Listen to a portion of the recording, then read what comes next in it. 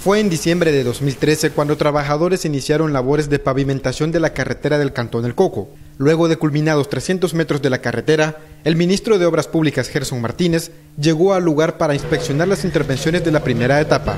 El Ministerio de Obras Públicas ha iniciado la construcción de esta carretera. Esta carretera está concebida como una calle binacional que conecta El Salvador con Guatemala y que le va a venir a borrar a los salvadoreños y salvadoreñas, a los comerciantes e industriales del país, les va a venir a ahorrar unos 30 kilómetros. La colocación de carpeta asfáltica será ejecutada en conjunto con el Fovial, quien pavimentará 4.5 kilómetros desde la carretera panamericana hacia el Cantón El Coco. La carretera será construida a dos carriles de 3.25 metros de ancho cada uno. 6.7 que va a construir Fovial y el resto el MOP. Bueno, el Fovial estará invirtiendo 5 millones y medio.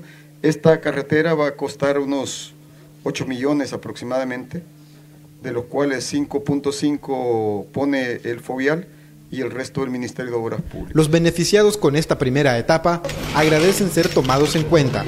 Ha atendido nuestras peticiones a través de la, de la directiva de ADESCO, que ella se ha movilizado para para que esto sea una realidad. Yo le doy gracias a Dios, ¿verdad? Porque de veramente ya esto ya es más serio, ¿verdad? Y le damos gracias a Dios porque ya, ya se empezaron a, yo creo que se va a terminar. En el invierno pues nos, costaba, nos cuesta pasar, ¿verdad? Ahora pues está en proyecto esto, pues me siento contento pues porque eso se va a realizar. El mal estado de la calle será solo un recuerdo para estas personas que esperan que el MOP les cumpla lo prometido. Pues todo se ve bien, la verdad. Solo esperamos y confiamos en las palabras del ministro que se cumpla todo, principalmente esta, pero creo que más mm, relevancia fuera si comenzara con toda la de Chalchuapa para acá. Siento emoción porque yo soy nacido en este lugar. Ya yo tengo más de 70 años. Y en, este lugar nunca jamás un ministro de, de gobierno se había presentado a este lugar. Algunos se habían presentado en campaña. La relevancia de este tramo radica en que además de unir un punto fronterizo, facilita el desarrollo de actividades agrícolas y del transporte colectivo.